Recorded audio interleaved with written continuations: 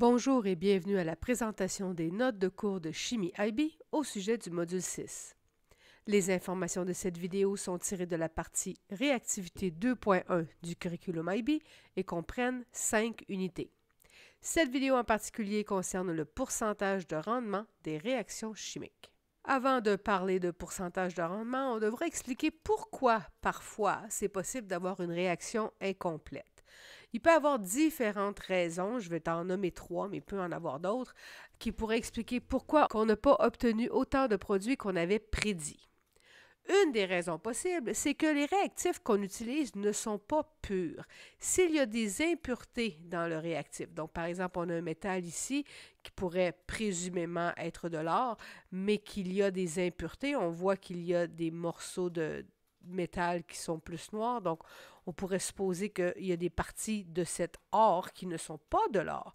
Donc la masse qu'on va mesurer pour le réactif, on penserait que c'est de la masse que pour de l'or, mais en réalité, il y a des impuretés qui ne sont pas de l'or et qui ne vont pas réagir. Une autre raison pourrait peut-être parce que quand on a justement essayé de purifier notre réactif, ou de le séparer des autres constituants qu'il y avait, on a eu des pertes. Donc, on voit ici une filtration. On avait un mélange et on a essayé de séparer les constituants de cette substance et il en reste dans le bécher. On n'a pas été capable de tout rattraper. Ou il va en rester collé sur le papier. C'est pas tout qui va tomber après la filtration. Donc, à cause de ces sources d'erreurs-là, on n'aura pas autant de réactifs qu'on pensait et donc on n'aura pas autant de produits qu'on pensait. Une autre possibilité, c'est qu'il y a euh, des... au niveau des réactions. Il y a des réactions qui peuvent peut-être être réversibles et dans l'exemple que je te donne ici, on utilise le NH4Cl, qui est un solide, et quand on le chauffe, il va se décomposer et donner de l'acide chlorhydrique et de l'ammoniac. Ces deux composés sont gazeux, et quand ils vont monter dans l'éprouvette, ils vont arriver à l'extrémité ici, où c'est plus froid, et à cause que c'est froid, ils vont se recombiner pour refaire le NH4Cl. Donc, si j'essaie de récupérer disons le NH3, mais je ne serai pas capable d'attraper tout le NH3 parce qu'il y en a une petite partie qui va se recombiner au HCl pour refaire le NH4Cl. Et c'est pour ça, tu vois ici, la flèche, elle est dans les deux sens. Donc ça, on appelle ça une réaction réversible. Et l'autre façon que les réactions pourraient influencer la quantité de produits qu'on va obtenir, c'est si il y a deux réactions qui se font en même temps avec les mêmes réactifs. Donc, si on fait réagir du benzène avec du brome, soit on va obtenir le C6H5BR qui est ici comme ça avec un seul brome sur le benzène, ou on va obtenir du C6H4BR2 qui va avoir deux bromes sur le benzène. Moi, peut-être que pour ma réaction, je n'ai besoin que celui qui a deux bromes, je n'ai pas besoin de celui qui en a juste un. Et donc, celui qui va m'intéresser, c'est celui-là ici, mais je vais obtenir l'autre que je ne veux pas utiliser. Et donc, ça, ça va être une perte pour moi. J'en ai pas besoin. J'ai seulement besoin de des deux. Donc, ça, c'est les trois façons, en fait, deux façons avec les réactions, une façon avec les impuretés et une façon avec les produits de séparation qui pourrait peut-être expliquer pourquoi est-ce que j'ai une réaction qui n'a pas produit autant de substances à la fin que je l'avais prévu. Et c'est dans des situations comme ça qu'on va parler de rendement. Le rendement, c'est qu'on va prendre nos coefficients dans une équation balancée pour prédire combien de molécules est-ce qu'on devrait obtenir et on va comparer ça avec ce qu'on a obtenu pour vrai dans l'expérience réelle. Alors, reprenons notre équation de l'eau comme on a fait dans la vidéo précédente et on va faire réagir l'hydrogène avec de l'oxygène pour obtenir donc la synthèse de la molécule d'eau. Le 2 qui est ici me dit que j'ai besoin de deux fois plus d'hydrogène que d'oxygène pour avoir une réaction complète. Alors, si j'utilisais 6 moles de gaz hydrogène, j'ai besoin de deux fois moins d'oxygène. Donc, si j'en ai 6 moles pour le H, j'ai besoin de 3 moles pour le O. Et ça, ça devrait être une réaction complète. Selon les coefficients, ça me dit que je devrais obtenir autant de moles d'eau que j'ai de moles d'hydrogène. Si j'ai 6 moles d'hydrogène, je devrais obtenir 6 moles d'eau. Théoriquement, si je fais réagir 6 moles d'hydrogène avec 3 moles d'oxygène, je devrais obtenir 6 moles d'eau. Sauf que peut-être qu'il va arriver quelque chose dans ma réaction. Et ce n'est pas 6 moles d'eau que j'ai obtenu, c'est seulement 5. Peut-être que j'en ai perdu parce que mon montage n'était pas étanche. Donc, à cause de ça, j'ai obtenu seulement 5 moles d'eau. Et donc, je n'ai pas un rendement de 100% Je n'ai pas obtenu autant de produits que je l'avais calculé. Si le rendement est inférieur à 100% comment je vais faire pour le calculer? On va tout simplement faire la division entre le nombre de moles que j'ai obtenu pour vrai divisé par le nombre de moles que je pensais obtenir. Donc ici, ça me donne 83% On va faire quelques exemples de calcul, commençant avec un plus simple. Euh, on va d'abord écrire la formule. Pour ceux qui aiment prendre des notes dans leur cahier, voici la formule à écrire. Et l'exemple qu'on va faire maintenant, ça va être avec des grammes. On va changer d'équation, par exemple. On va prendre la synthèse de l'ammoniac où on va faire l'azote qui va réagir avec l'hydrogène pour faire du NH3. Une fois balancé, c'est avec un coefficient 1 devant l'azote, un coefficient 3 devant l'hydrogène et un coefficient 2 devant l'ammoniac. La question nous dit qu'on a 10 grammes d'azote, alors on va aller placer le 10 grammes en dessous du N2. Et là, je devrais calculer la quantité d'ammoniac que je pense obtenir. Souvenons-nous que les coefficients 1, 3 et 2 qui sont ici ne sont bons que pour les moles. Je n'ai pas le droit d'utiliser les grammes pour faire les produits croisés. C'est seulement bon pour les moles. Alors, il faut que je transforme le 10 grammes qui est là en nombre de moles. Ça va être facile parce que j'ai un tableau périodique et je peux aller chercher la masse molaire du diazote qui va être 28 grammes par mol et je vais faire la formule MNM pour trouver que c'est 0,36 mol d'azote que j'ai pour réagir.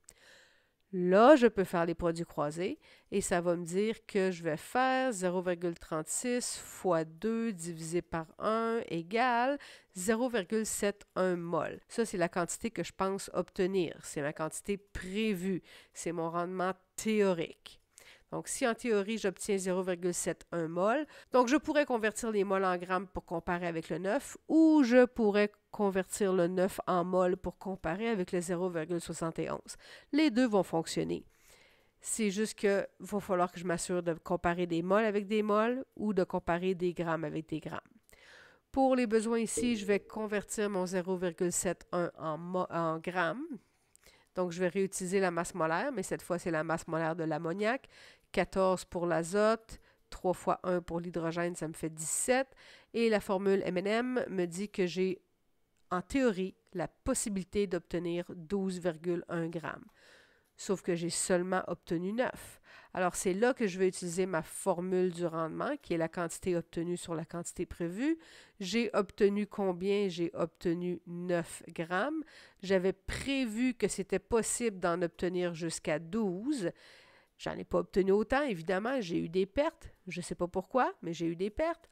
Et là, je prends ma calculatrice. 9 divisé par 12, ça me donne 0,74. 0,74, c'est pas cute comme réponse. On va mettre ça en, pourcentage. Donc, ça va me donner 74% donc, finalement, c'est juste un rapport. Fait que c'est pas super compliqué. Il faut juste que tu t'assures que tu vas mettre les bonnes unités. Fait qu'on va faire un deuxième exemple. Et on va utiliser un exemple où on n'aura même pas une réaction complète. On va trouver d'abord c'est quoi le réactif limitant et après on va calculer notre rendement théorique. Mais regarde tout ce qu'on a. J'ai fait exprès de mettre beaucoup de différents types de substances. Il y a un solide, il y a une solution et il y a un gaz.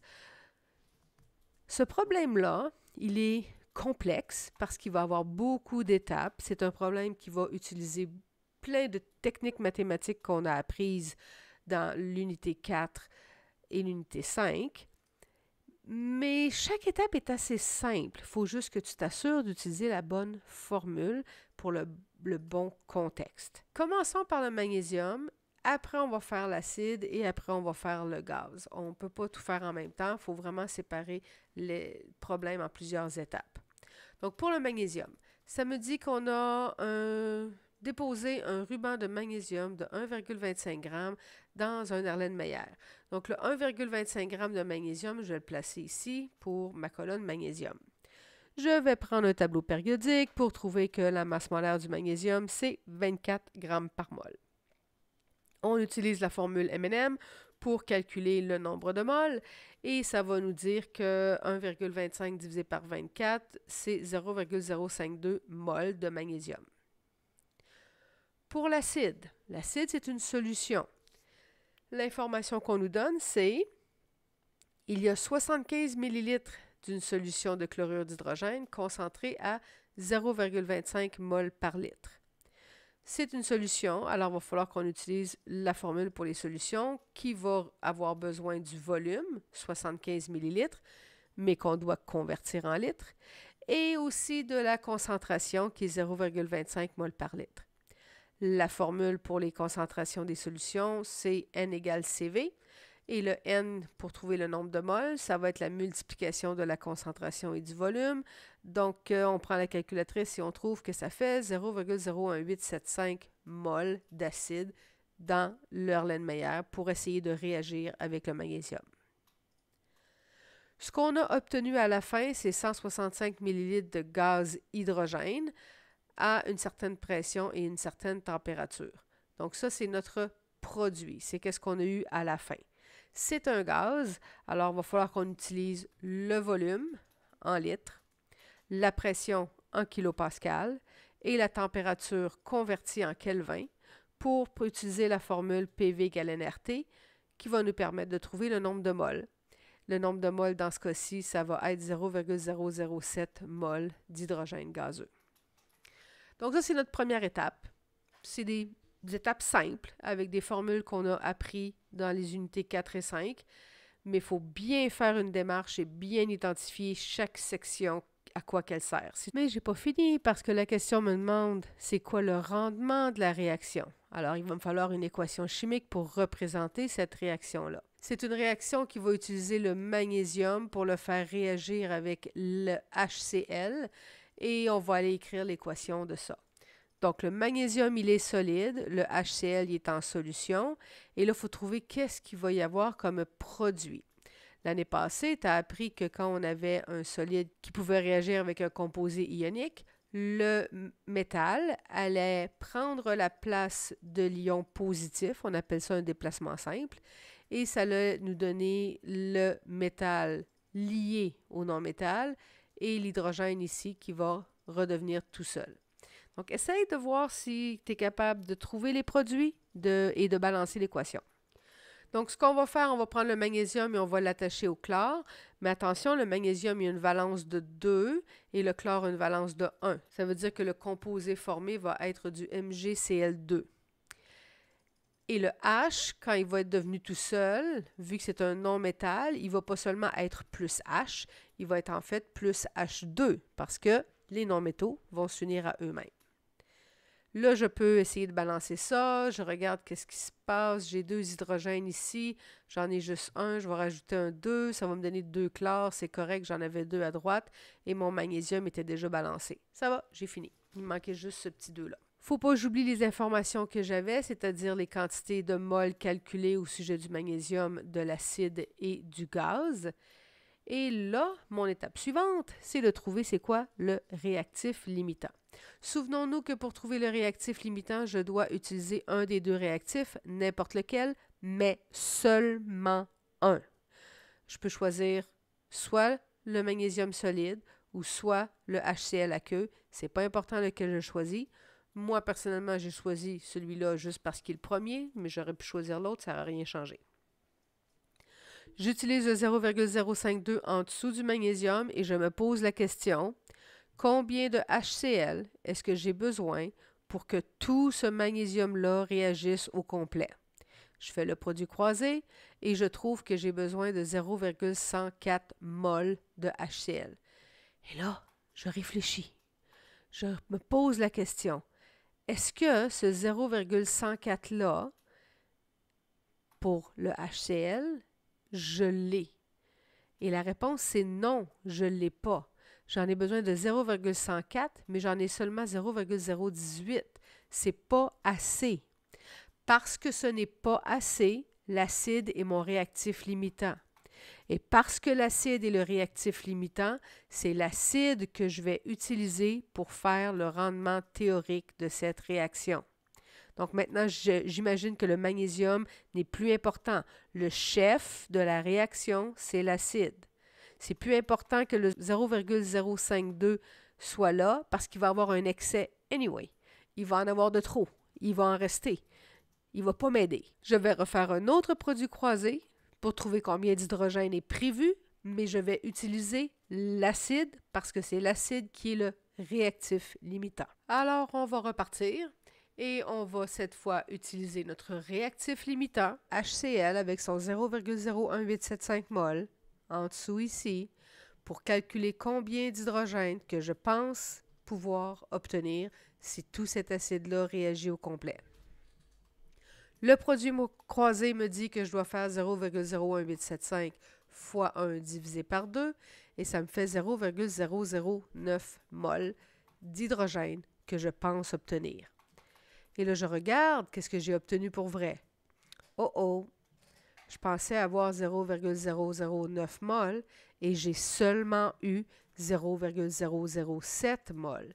Je n'ai pas eu tout ce que je pensais avoir ce que j'avais prévu, 0,09, n'a pas réussi à être atteint. J'ai seulement eu 0,07. Mon pourcentage de rendement va être plus petit que 100% Comment je vais faire pour le trouver? Ben, j'utilise ma formule, quantité obtenue divisé par quantité prévue.